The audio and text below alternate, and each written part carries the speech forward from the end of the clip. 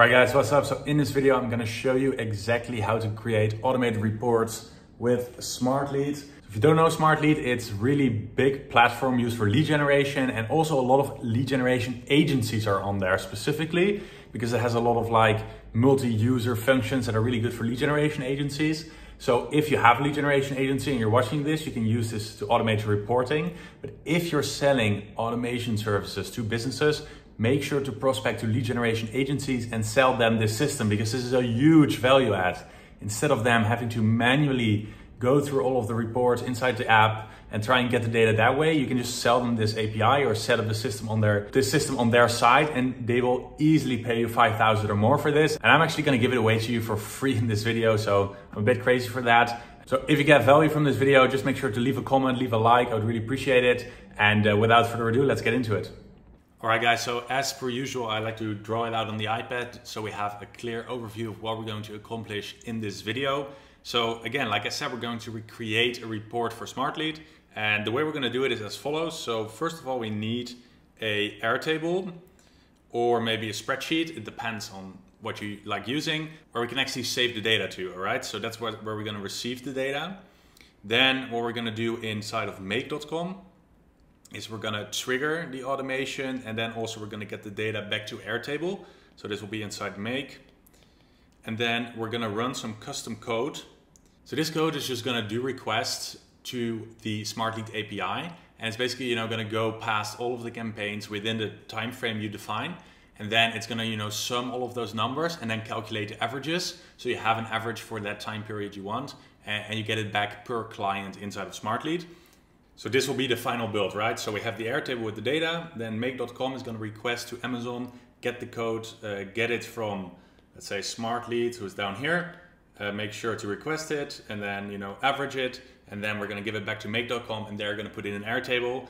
Well, if this sounds complicated to you, it's actually not, because you can just download the exact blueprints I'm using here from make.com. You can upload them with one click into your make.com instance so you can get those with the link down in the description, as well as the code. I've already written all of the code for you, debugged it, make sure it works, and you can actually get that for free as well by you know downloading it in the description. So and even more so, the Airtable templates you can actually also get for free when you download it in the description. So you can just copy paste all of this and start implementing it for your own agency or selling it to outbound agencies right away. Make sure to stick around though, because if you don't, you will not understand how the system works. And if any changes come up, if, if you want to make some, if you want to make some personalized tweaks, you will not know how it works. So make sure to stick around, but also make sure to download that stuff down in the description. All right guys, so let's get into it. So we're gonna start off, like I said, inside of the Airtable. And we're just gonna say create a table from scratch. And then we're gonna change the color because this color is terrible. So let's make it a little bit nicer, blue. Just give it a name. So if you're already using Airtable, obviously you can add this to your existing Airtable. Or if you're using Google Sheets, you can do a similar process. I'm just gonna show you in Airtable. So what we wanna do is we basically wanna have the first column be something like report name. Then maybe the second one, let's just uh, put in the week number here put in the client ID, and then I'll add some other fields as well and just fast forward this because it's a bit boring. All right, guys, so I just fast forwarded and I set this up. So we have the report number, which is basically the year, uh, and then the week number. So it pulls these based on a formula, which I'll show you. So the report number will be the year of the created time. So when the record is created, that's you know what the report is relevant to. So it doesn't change. So it's based on the time the record is created, not when you know now is happening. So it doesn't change every week. And then it takes the week number from this one. So we can also just see the week number separately. So we have a report number and a week number. Uh, report name we can actually remove because that's kind of like what the report number and week number are for. Then we have week review. So in here, you know, you could have some of your team members or yourself leave a note uh, before you send these numbers out to a client, maybe in PDF format, whatever. Uh, leads this week, total email sent and total uh, new prospects this week, the average open rate this week, the average reply rate this week, the sum of the total leads. Maybe if you have like a lead tracking sheet, you can paste it in here leads last week, total email sent, new prospects, and this is all based on last week. So this API will actually also pull last week's numbers so you can present both in a report because when you're reporting to clients, it's really important to show the trend of what's happening, not just the numbers without any context.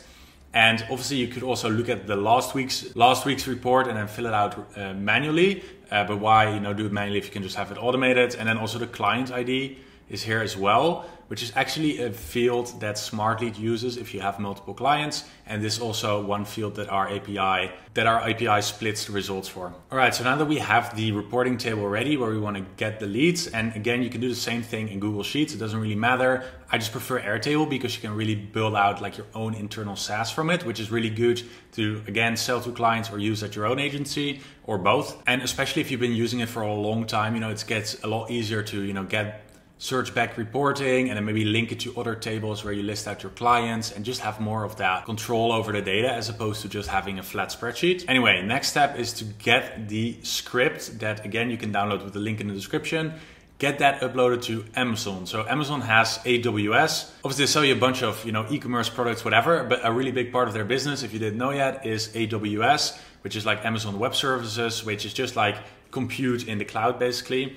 So we don't have to get into that too much, but all we have to know is that they have a really generous free tier, which is good for us because if you're just using this report, running it once or running it like once a week, it will just be free forever and it's an easy way to deploy code into the cloud. And if you actually want to deploy a different function into the cloud, I actually have a video, I'll put it up somewhere here, that you can go watch after this video where I teach you how to, you know, write code with AI that you can then upload here. So if you don't want to do the reporting API, but you want to do something else, you can watch that video and still, you know, still be able to basically run custom code without knowing how to code. So just make sure to make your account here and then, you know, once you have every, everything set up, you can log in and you can go to something that's called Lambda. So here at the top, just type in Lambda. And this is basically where you can just run those custom scripts. And then I'm going to walk you through exactly how to do it.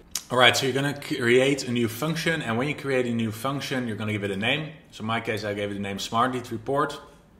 For the runtime, this script is written in uh, Node.js. So you can just click that, leave everything the same, and basically just click create function and will take some time to process. All right, so now it pulls this up and in theory, you know, you could just start writing your code here.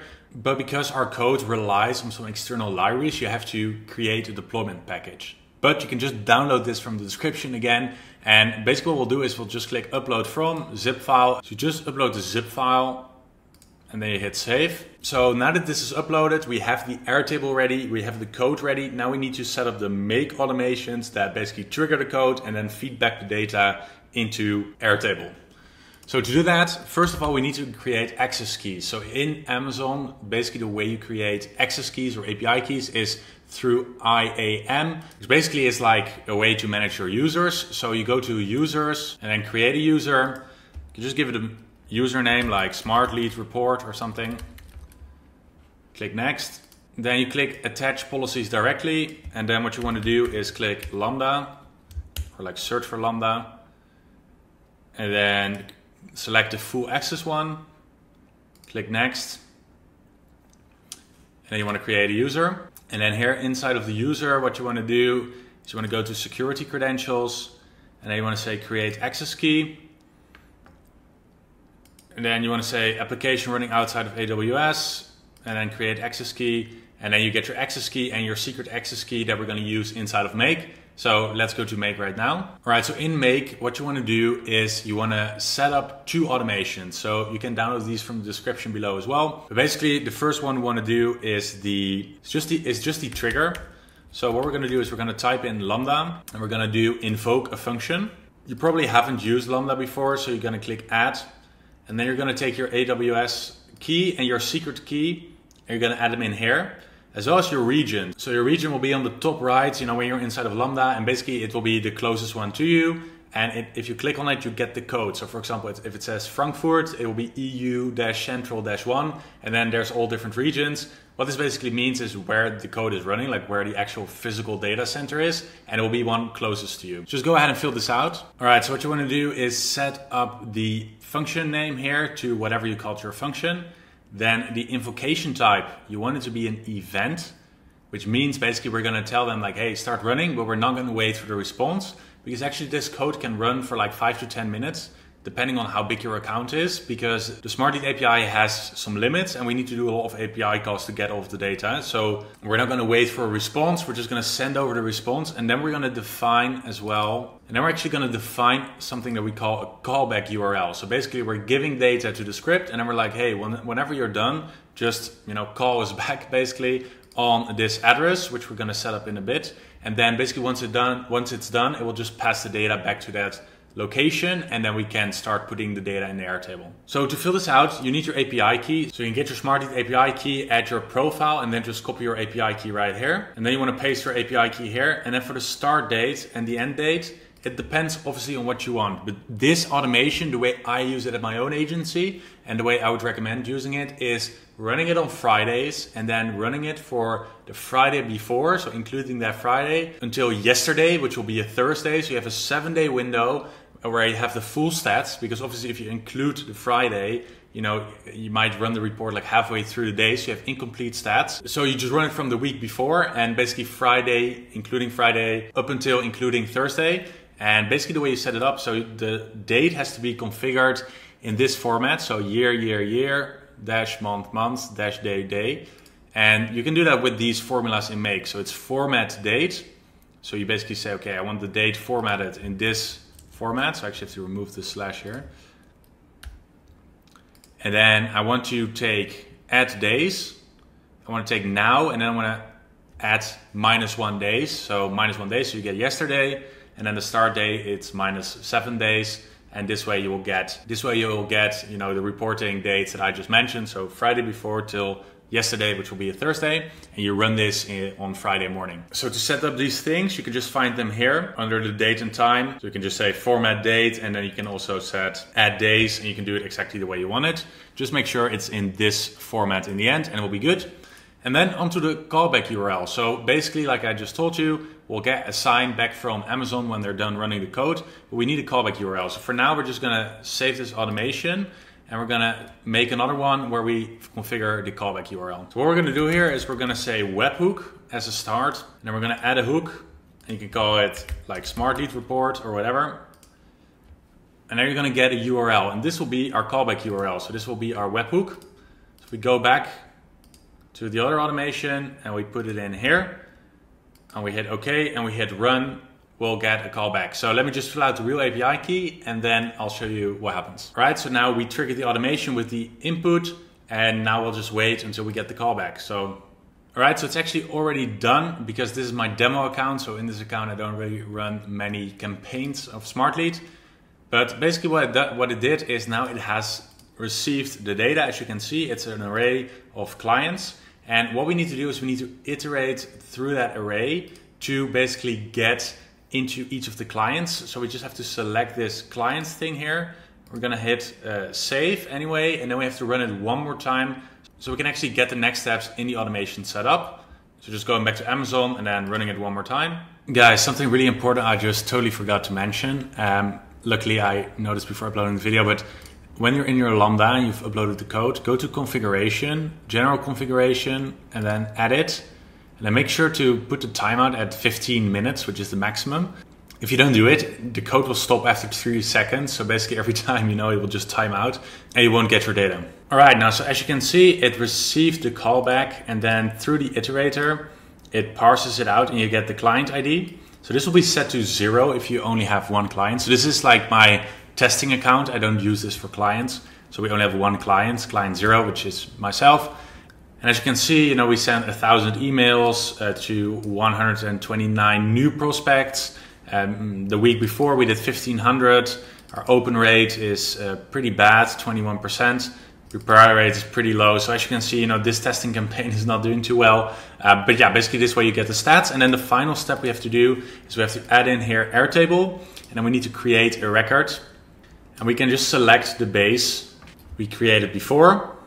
And then we can just start filling everything out. So client ID, week review, that's a custom field you will fill in based on the numbers. Uh, leads this week, same. That's something you have to pull from your own tracking. That's not inside of SmartLead. Then total email sent, so be email sent.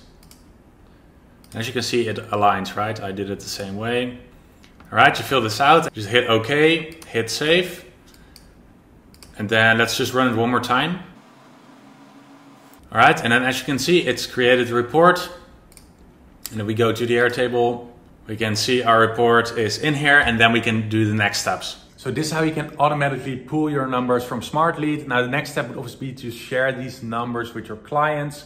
Make sure maybe to just put it in a nice report and you know just remember sharing those numbers weekly is, is something that really helped increase retention over at my agency. So I would definitely recommend doing that. And then additionally, you know, if you're selling this to business owners, remember having the right data at the right time is a huge value add. Just imagine an outbound lead generation agency having weeks and weeks on end where maybe the campaigns of a client aren't performing too well, but they simply don't know because they're not because they're not pulling their numbers up every Friday by running an automation like this. So when you're pitching this, make sure, you know, to really dig deep on that and really align basically on, you know, the importance of having the right numbers. So if you like this video, make sure to subscribe, like, comment, all that good stuff. And again, I've, I've mentioned it numerous times during the video. If you want to download the code, if you want to download you know, the make.com template, the Airtable template, you can do that with the link in the description below. You fill out your email, you get access to a Notion page that has all of the templates there that you can just import. It's completely free. And I'll see you all in the next one.